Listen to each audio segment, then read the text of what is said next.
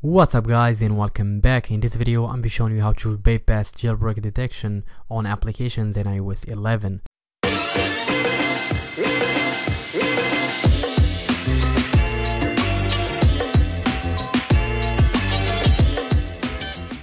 So some applications and games block jailbroken devices from using them. As an example we have here Super Mario Run which doesn't allow you to play it if you are jailbroken. So if I launch it here the application or the game crashes as you can see.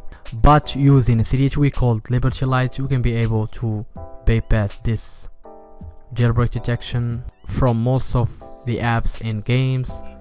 So I'm gonna install it here and respring the device. So once you resprung the device go to the settings scroll to the settings of the tweak here Liberty lights and make sure the switch or the enable switch is turned on.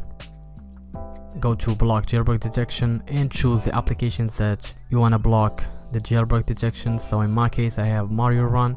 So I'm gonna turn the switch on and make sure Mario Run is closed from the background launch it again and you will be able to use it so I'm just using Mario Run as an example. Keep in mind that it does not support most of applications and games but it does work in Pokemon Go for example PayPal and other popular applications and games.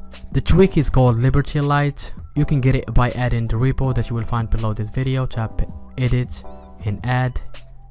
Add the repo give it some time to load and go to the search bar and look for Liberty lights. This one right here. It and respring your device. So that's been it for this video guys. I hope you enjoyed it. If you did make sure to smash that like button and subscribe if you haven't for new content. Thank you for watching. I will talk to you in the next one